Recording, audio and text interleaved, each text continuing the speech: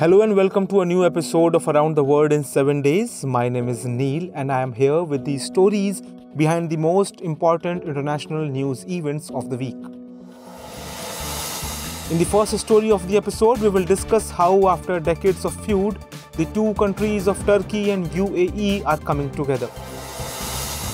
In the next story also, we will focus on the region of Middle East and will try to understand why Israel is looking forward to improving its relations with Arab countries and how Iran is related to this evolving situation. In the last story of this episode, we will discuss why South Korea has issued a warning to North Korea and why these two countries are locked in a missile race. Before I move on to the episode, there is an announcement for you. Dear viewers, Drishti IAS has launched Drishti Mentorship Program for Prelims 2022. The features of the program are as follows 85 days rigorous mentorship program, quick revision classes, regular topic wise tests, identification of weak areas, and personalized guidance, available both in online and offline mode, and much more to enable you finish your syllabus and revise and test it multiple times before the actual exam. For more information, please visit the link given in the description below. You can also call us on the given numbers.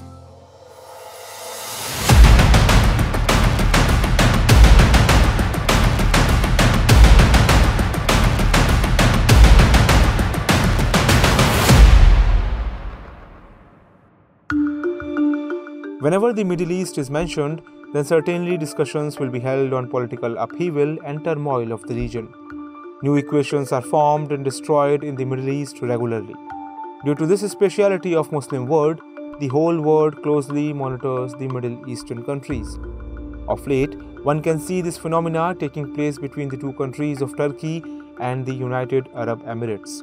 After a long feud, the two countries are finally coming together. Turkish President Erdogan recently visited UAE. It was Erdogan's first visit to UAE since 2013. The visit is being viewed as an attempt of mending the strained relations between the two countries after years of enmity so that joint efforts can be made towards economic partnership. It is so because Turkey's economic conditions are deteriorating due to Erdogan's economic policies. In this story, we will try to understand the whole matter and we will also discuss the background of the feud between Turkey and the UAE. First of all, let us look at the geographical location of both these countries.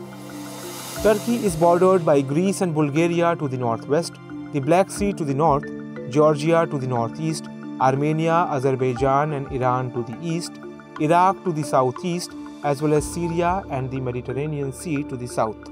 It also shares border with the Aegean Sea to the west. Below this quadrangle of the Middle East is the United Arab Emirates and it is located on the eastern end of Arabian Peninsula. It shares border with Saudi Arabia and Oman.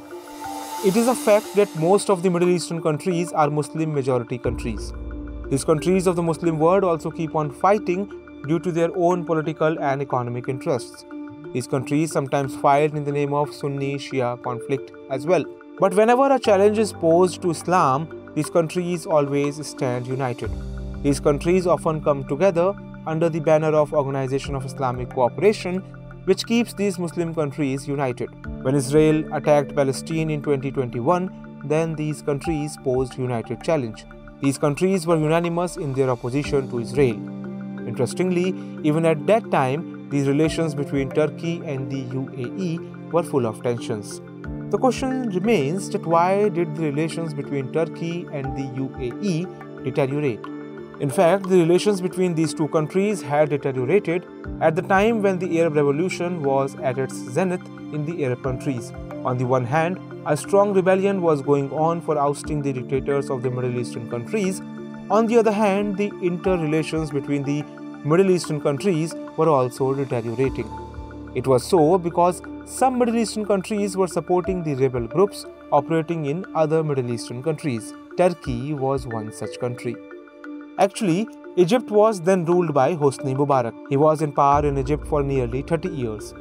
Erdogan was supporting the Muslim Brotherhood for ousting Mubarak from power. When the Arab revolution's wave reached Egypt, then Mubarak was ousted from power and a democratic government was formed in Egypt for the first time under Mohamed Morsi's leadership. However, the establishment of a democratic government in Egypt did not go down well with a few Middle Eastern countries.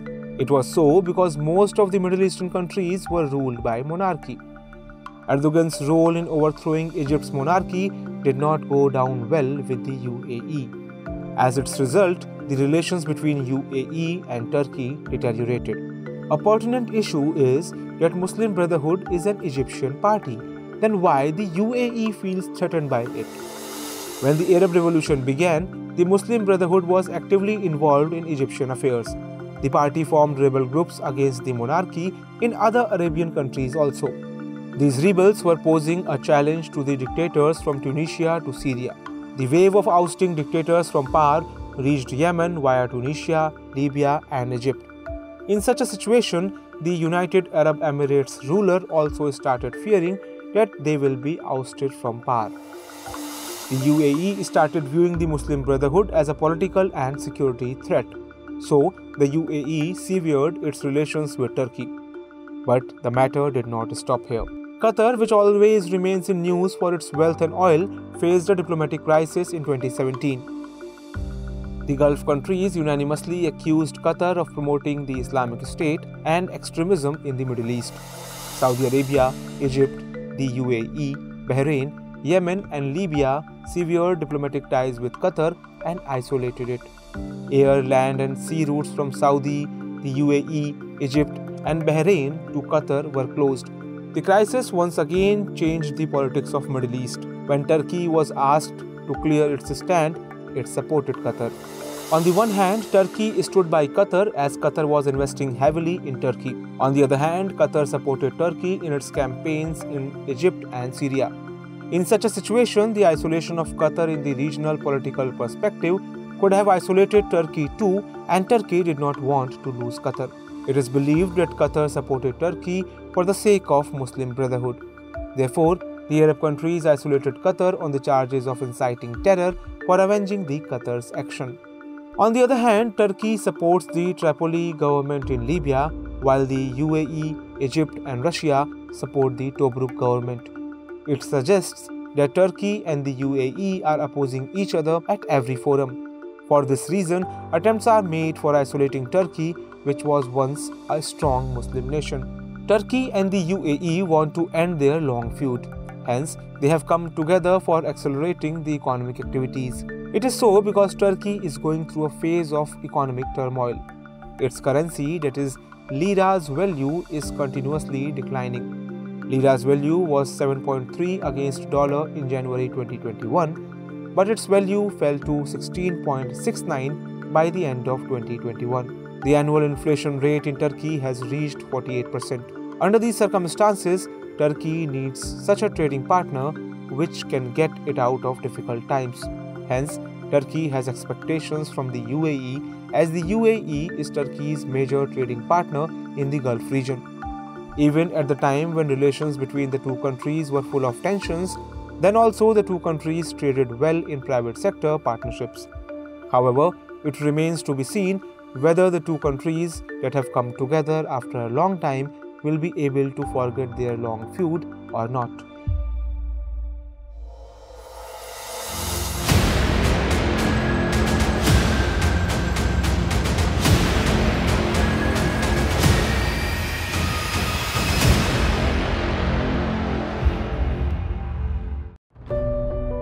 Israel's Prime Minister Naftali Bennett visited the Gulf country of Bahrain last week.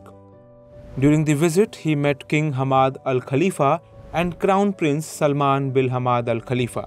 The two countries jointly discussed ways of stabilizing the Middle East region. As per the media reports, it is the first official visit of an Israeli Prime Minister to Bahrain. In the news related to Turkey and UAE, I informed you that the Muslim world countries threaten Israel because of the Palestine Israel conflict. Israel has always been sidelined by the Muslim world countries. But the Arab world countries have started establishing relations with Israel in recent years and it has caused a lot of stir. Among the Gulf countries, the tensions between the other Muslim countries and Iran are being considered as a major reason behind the other Muslim countries establishing relations with Israel. The Abraham Accord is being considered as an important link behind establishing relations between the Gulf countries and Israel. In this news, we will try to understand the reasons behind the Gulf countries' increasing interest in Israel. We will also focus on two other things that is, what is Abraham Accord and how Iran is becoming a reason for bringing the Gulf countries closer to Israel. The most important question remains that why do Arab countries threaten Israel? Israel has been a target of Arab countries ever since its establishment in 1948. Israel was established as a country in 1948, but some issues remained unsorted at the time of its establishment. Local tensions of the region turned into a territorial dispute, and the tensions lasted for a very long time. Israel occupied many areas, including the West Bank, the Gaza Strip, and the Golan Heights. The most crucial turning point in this dispute came in 1967 when the historic war between Israel and the Arab countries was fought. It is known as the Arab Israel War. The Arab countries were defeated in this war. Therefore, the conflict between Israel and the Arab countries lasted for decades. You can watch our episode to understand the whole conflict between Israel and Arab countries in detail. The link is given in the description below. However, a peace plan was agreed upon at the Arab League conference held in Beirut in March 2002. Under the plan, Israel was to withdraw from all its occupied areas such as West Bank, the Gaza Strip, and the Golan Heights. It was decided that if Israel withdraws from these areas, then in return, the Arab countries will normalize their relations with Israel. The plan also assured justice to the Palestinians who were rendered homeless in the Arab Israel war. The plan was supported by the international community and it began pressurizing Israel for implementing the plan. But at the same time, the incident of targeting Israeli civilians by Palestinian extremist organization Hamas ruined all efforts of international community. However, the actual turning point in the direction of improving relations between Israel and Arab countries came in 2020. The feud going on for several decades between Israel and the Arab countries started normalizing when the Abraham Accords Foundation was laid under the US President Donald Trump's initiative. Besides Israel, the United Arab Emirates and Bahrain also signed the Abraham Accord. Restoring peace and establishing diplomatic relations with Israel was agreed upon in the Abraham Accord. Israel's PM has visited Bahrain to carry forward the Abraham Accord. Although the Biden administration too made efforts for expanding the Trump's campaign, but no significant success has been achieved in this direction so far. However, there are plans of including other Muslim countries especially the Gulf countries, under the Abraham Accords purview, but it has not been possible so far. Powerful Muslim nations like Saudi Arabia are still not willing to sign the Abraham Accord. Now, two questions arise why some Muslim countries are not signing the Abraham Accord, and what are the intentions of rest of the Muslim countries behind signing the Abraham Accords. It is believed that the relations between Israel and Arab countries will normalize after signing the Abraham Accord but there is little hope that peace will be established in this region. It is so because full emphasis has been laid upon normalizing the relations between Israel and Arab countries, and the original issue has been ignored in the Abraham Accord. And ignoring the original issue is the Abraham Accord's main shortcoming. The reason for the mutual tensions between Israel and Arab countries is the Israel Palestine conflict. It means that tensions prevail between Israel and the Arab countries as the Palestine issue's mystery remains unsolved till now. However, no efforts have been made for resolving the Palestine issue in the Abraham Accord. For this reason, the countries like Saudi Arabia have not yet signed the Abraham Accord. Israel did not have any diplomatic relations with the Arab countries of the Gulf region until a few years ago. But there have been talks between Israel and Arab countries recently due to shared concerns about Iran. It is so because Iran is the common enemy of Israel as well as the Arab countries like UAE and Bahrain. These countries are highly concerned about Iran's growing dominance among the Gulf countries. Iran is challenging Sunni Muslim countries like Saudi Arabia and the UAE in Yemen and Syria. Under these circumstances, it is believed that all the Gulf countries want to use Israel against Iran as these countries do not have powerful intelligence agency and army like that of Israel. On the other hand, Israel also wants to crack down on Iran in terms of nuclear weapons. Besides Israel, the Gulf countries like Saudi Arabia and the UAE are also concerned on the issue of Iran's nuclear weapons. It is said that Donald Trump withdrew from the Iran nuclear deal only at the behest of the then Prime Minister of Israel. It is also a fact that Israel has long standing relations with Egypt and Jordan in the Arab world, but Israel has never really warmly embraced these countries. It is so because Saudi Arabia and UAE are considered most powerful nations among the Sunni Arab countries. Although Saudi Arabia is silent regarding establishing relations with Israel so far, but it is believed that Saudi Arabia will have to establish relations with Israel sooner or later, as the UAE has already established relations with Israel. Besides, America is making all efforts for bringing Saudi Arabia under the Abraham Accords purview. If a country like Saudi Arabia establishes relations with Israel, then the Palestine issue will definitely be left behind, and some of the Arab countries are not willing to leave the Palestine issue behind.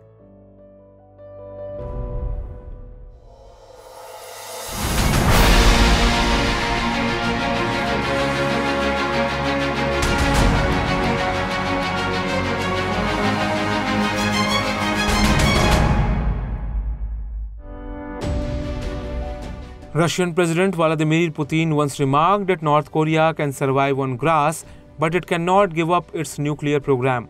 It means that North Korea is fully focused on holding nuclear weapons. Putin's remark hints at North Korea's efforts of several decades for becoming a nuclear power nation. North Korea keeps on testing missiles every other day. North Korea conducted ballistic missile tests several times in January 2022. These tests also include the Intercontinental Ballistic Missile Test, which was conducted for the first time since 2017. Why are we discussing all this? Actually, South Korean President Moon Jae-in has expressed concerns over North Korea conducting missile tests one after another and he warned of a crisis in the Korean peninsula. According to Moon, if North Korea does not stop its nuclear or long-range missile tests, then the Korean peninsula will be in crisis soon. There are often tensions between South Korea and North Korea regarding the arms race. South Korea may be holding North Korean activities as responsible for this crisis, but South Korea is equally responsible for the ongoing crisis in the Korean peninsula. Along with North Korea, South Korea also keeps on testing missiles. It seems as if there is an arms race between the two countries. Although Moon Jae-in had expressed hope for a formal end to the Korean War just a few months ago, but viewing the ongoing situation, the dispute is not likely to end anytime soon. Therefore, Today we will try to understand why there is an arms race between both the countries. We will also discuss which countries are supporting South Korea and North Korea in their arms race and why are they supporting these two countries. First of all, let us look at the geographical location of South Korea and North Korea. South Korea and North Korea are part of the Korean Peninsula. The southern part of Korean Peninsula is called South Korea while the northern part is called North Korea. To the northwest of the Korean Peninsula lies China and to the northeast of the Korean peninsula lies Russia. In the east, the Sea of Japan separates the Korean peninsula from Japan.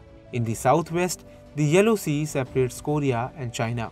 When the Second World War started in 1939, the Korean peninsula was occupied by Japan. However, when the US carried out nuclear attacks on the Japanese cities of Hiroshima and Nagasaki in August 1945, Japan was badly defeated. As a result of it, Japan left from Korea and Korea attained independence. However, due to tensions between northern and southern part of Korea, the Korean War started. Ceasefire was announced in 1953, but the war's end was never formally announced. Therefore, the tensions between South Korea and North Korea is still visible. Both the countries have been challenging each other since the Korean War. In fact, the United States was supporting the South Korea while the Soviet Union was supporting North Korea during the Korean War. Therefore, North Korea considers US as its biggest enemy. This situation continues till today. On the other hand, with changing times, Japan developed close ties with the US. As its outcome, North Korea started considering Japan as its enemy. In the 1960s, North Korea's founder, Kim Il sung, appealed to its citizens for developing ballistic missiles. The appeal was aimed at facing the US and Japan in a warlike situation. Sung wanted North Korea to be able to build such missiles which could strike Japan. In the late 1960s and 70s, the then Soviet Union and China became allies of North Korea. North Korea bought missiles from these countries. Later on, North Korea also started producing the components needed for building the weapons indigenously. During this period, North Korea bought Scud-B missiles from the Soviet Union, and these missiles formed the basis of North Korea's missile program. North Korea tested the first indigenously manufactured Scud-B missile named Hwasong 5 in 1984.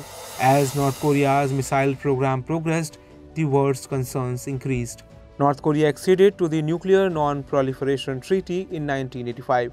However, North Korea withdrew from the agreement in 2003 due to some reservations.